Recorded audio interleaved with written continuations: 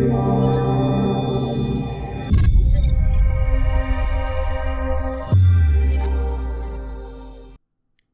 Dave is brought to you ad-free by my supporters on Patreon. Become a Patreon yourself and get your name listed as a supporter at the end of every video by following the link in the video description. Hello ladies and gentlemen and welcome back to Hello Dave with Down to Earth Astronomy. It is once again Monday, so let's have a look at what's been going on in the last week and we're going to start by having a look at what's been going on um, with Elite. Um, there hasn't really been a lot in terms of announcements from Frontier this week. Um, and I guess that's because, well, they're busy with the whole 3.3 um, beta patch and the uh, the launch of uh, of that patch. Now they did went out and say like three weeks ago that the beta would be soon, and there was an interview with one of their, I think he was one of the designers in the newsletter on Friday, where they also briefly touched upon this, and they say again that the beta is out soon. Um, so hopefully this time the soon is sooner than the last soon because well, yeah, you never know with Frontier and their soons. Um, but I'm beginning to to suspect that maybe there's been a delay in the launch of this, that they might have gone out a little bit too early and announced that it was uh, just around the corner. We have seen this before. I can't remember it was in the 3.1 or the 3.2 patch, where they also said, "Oh, the patch is going to be out sooner than you think." And since they launched them every quarter, you would, and they were like in the middle of the quarter. And then it turned out the patch came out like the second to last day of that quarter, so pretty much as late as you could possibly imagine. So that thing clearly got uh, got delayed for some odd reason. And I'm beginning to expect the same things is happening here. That they're saying, "Oh, we're just about to be ready, just about to be ready," but they have a few, they, they encounter some few last minute issues that they want to iron out before they put the um, the beta build out publicly, so we can begin to uh, to test it. Um, but yeah, I'll definitely be keeping an eye on this, and as always, I'll be I'll be sure to uh, to cover the the beta, and I'll probably start by having a look into the to the mining thing when that comes out. Um, after the patch come out, I think one of the first things I want to do is do a new detailed mining guide. I did one. I think it was one of the first things I did uh, on the, on the channel, so it's a little dated now. Um, but I did well. It's not really dated because mining hasn't really changed in the last three years. So anyway, but I did a, like a three step, three video guide where when there were first like all the fittings and modules you need, then um, a video about how you locate a good ring, the differences between where you drop into the ring, all that kind of stuff, and then finally some tips and tricks for when you're actually in the ring and mining. And I'm considering doing the same thing here. Um, probably doing first like an overview thing just to, to highlight the new mining changes, and then later going back and then do this uh, this detailed guide again because it does need an update. It is again three years old, so that thing is is beginning to be a little dated, and especially with the new updates coming, it will definitely be outdated by then. Um, so yeah, detailed mining guide is definitely coming out. Um, I'll probably not base it on the beta build because if they changed stuff, uh, the things that I could expect them to change doing a, build like this is um, is like ammo count in the new um, modules that we're gonna get. Uh, it definitely seems like some of it, at least, is gonna be uh, munition based. Um, like those the rockets that we fire into the rock that drills down into the core of the rock and then uh, exploded from the inside. I would expect that to be munition based. And the interesting part here is going to be can we synthesize ammunition? I expect we will. And what materials will be available? Because if this, if the materials available you need to synthesize ammo is something that you would naturally get while mining, because you get tons and tons of, uh, of raw materials when mining, then it's really not a problem because you could just use those materials you gather anyway to synthesize new ammo as you go along.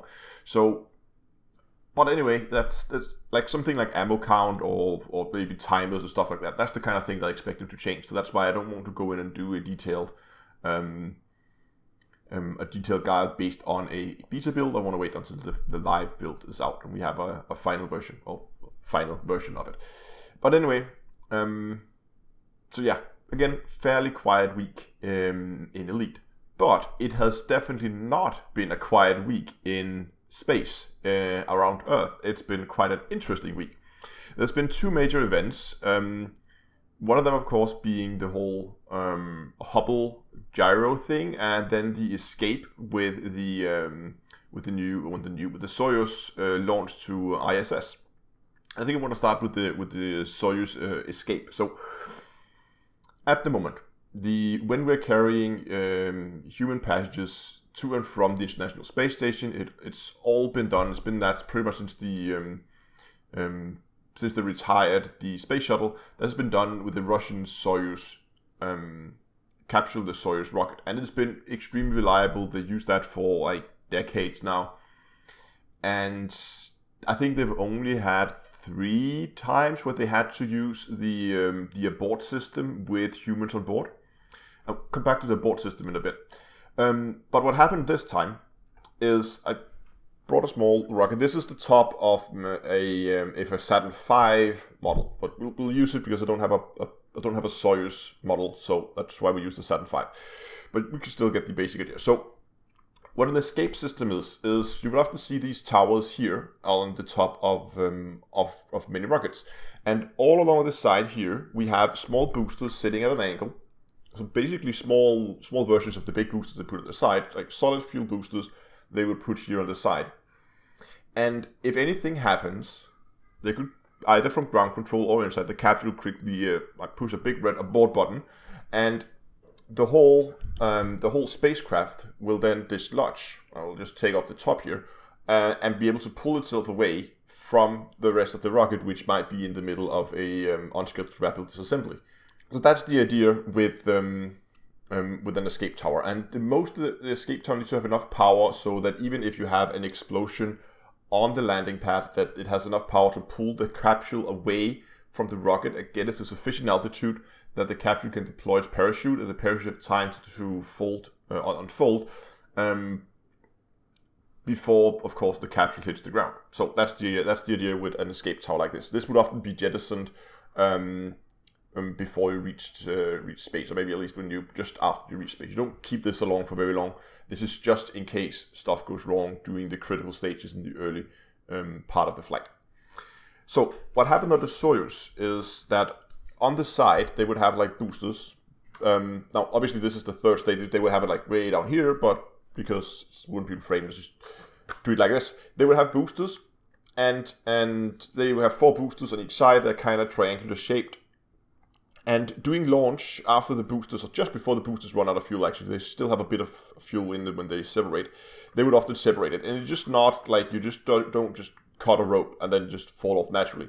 You have like an integrated system that makes sure that the on the Soyuz they do like a first they they they fall out like this and then they flip out like that. They have an integrated system, and the part that force that should force the booster to get that uh, rotation away from the from the spacecraft kind of failed on one of the boosters, causing the tip to grind along the side of the spacecraft as it separated obviously causing damage. Potentially there was a, um, a leak in the in that stage. Um, and that's obviously not something you want to be sitting atop on because that could mean the, the difference between a a rocket and a bomb is really not that big when it comes down to it. Um, one is controlled, one is less controlled. Um, so of course they really wanted to get away. Problem is that on this Soyuz, they a couple of years, not some time back at least, they changed the um, order on which different things happen in the in the launch, and now they are actually launching the escape tower before they separate the boosters. So at this point in the flight, the escape tower has already been jettisoned, so there's no escape tower left on um, on the spacecraft at this point. Um, so what did the crew do? Now the reason why that that it's okay because the of course, this is a Saturn V, but on this Soyuz, um, the spacecraft or the capsule would be located inside the fairing, like something like this. Now it doesn't really fit, but you can imagine that, and the escape tower would be gone. So the escape tower was actually be sitting outside the, outside the fairing, and the craft would then be located inside the fairing like this. And what they do is they then have here on the fairing they also have small uh, escape boosters. The reason why they can jettison the tower so early on is because they only need the tower when they're close to the ground. They're not really moving. As they get up uh, higher up in the in the atmosphere, they don't need as much power to get sufficient distance because they don't need that altitude to make sure to give the parachute time to escape or to, to fold out. Um, they have enough altitude at this point in the flight, so they they jettison the escape tower early um, and they do that in order to, um, the earlier you ditch payload, the more you know, the, the, yeah, the earlier you ditch um, unneeded modules on the spacecraft, the more payload you can carry. So it's basically to increase the lifting capacity of the rocket. But luckily, they have these small boosters around the side. So while the spacecraft was um, was still inside the fairing, and the escape tower was obviously not there, the whole fairing would then pull itself away. And once they were at a sufficient distance, the uh, the capsule would then fall out of uh, of the bottom of the spacecraft, um, and they could then do a, a return. They ended up like 500 miles downrange from uh, from the launch site. So because this launch fails, that leaves them with a bit of a problem because obviously now they have a capsule up there that is now slowly getting dated. But so what they could do is they could do one or two things. They could either send up a unmanned um, capsule that would fly up automatically and dock and everything, and they would then have the capsule they need to go back home. The other option is to force an evacuation of the space station. Even though nothing is wrong, they could send the crew home while the, the capsule they have is uh, the fuel in it is still good. That would of course leave the space station unmanned for the first time in a very very long time. Um, and that's a bit of a problem because uh, a thing like the space station needs regular maintenance. So they would need to get crew members back to the space station pretty quickly. Um, because otherwise it's beginning to degrade and then you would have to send up ton of repair missions where you send people up they would go on EVA and repair the stuff that's that's been uh, that that's that's failed while there haven't been any crew members then it, it would be a costly process to to leave the space station unmanned um, so I don't think that's an option I think the most likely option is they're gonna send up an unmanned um, unmanned flight unmanned Soyuz capsule um, just until they figure out what happened and and why that booster um, but the separation of the booster failed. Because until that the investigation is over, I think it's unlikely they're going to do any manned flights. Now, unmanned flights, of course, that is just material damage, and, and that's, of course, a lot less severe than if it was actual um, humans on board. But anyway, rather interesting. Um, there was the whole Hubble thing that I also quickly want to, uh, to cover. Um, so back in 2000, okay, so let me start somewhere else. Hubble is, of course, beginning to be a um, a very dated telescope. It's um, if you don't know, it's it's the big telescope we have in orbit. It's done a lot of the very stunning images we have of uh, of galaxies and nebulas, and it's already way past the the mission expectancy of uh, of of the telescope. And they did the last scheduled service of Hubble back in 2009, so it's nine years ago now, um, where they replaced pretty much everything that they would expect to fail over time. Um, and one of them is the six gyroscopes that is inside the, uh, the telescope. And of course, use these gyroscopes both to turn the telescope, but also to keep it pointing accurately at whatever object it is for a very extended period of time while it is taking the images. Now, it has six gyros while it really only needs three. Um, but the problem is these gyros they will slowly fail over time because there's a lot of mechanical moving parts. So so stuff like that have a tendency to uh, to to fail over time. And through the years they have been failing one after the other. And they're now down to just two gyros where the Hubble telescope actually needs three to function properly. Now they have found a way to still um, use the telescope with only two working gyros. Um, but of course, it means it's gonna be turning a lot slower because they only have the two uh, two gyroscopes now. And the question is if they can still keep it accurately pointing at the target they're going to try and take images of. Because if they can't, well, just the slightest movement will blur the image, and then there's no, really no point in having the telescope at all. I mean, they did. I think that was actually during the last service. They also mounted external like handles for a, a to for a like another spacecraft to grab onto um, because they were planning to simply deorbit it at some point. So the fate of Hubble is probably at some point um, when it's no longer going to be used, they will send up a, a, spacecraft and they will deorbit it and then crash it down somewhere, probably somewhere in the ocean. Um, I, I, don't know where exactly they're going to use the crash site, but they're, they're probably going to crash that thing down somewhere instead of just leaving it there in space as a, as a big piece of space junk, because space is already pretty populated when it comes to space junk. So at least now we'll see what happens for how long they can keep Hubble flying. But I have a gut feeling that um, that it's not going to be uh, operational for too much longer. Um, and whether they're going to leave it or deorbit it, I, I still don't know. I think they're going to deorbit it, um, but we'll have to uh, to wait and see.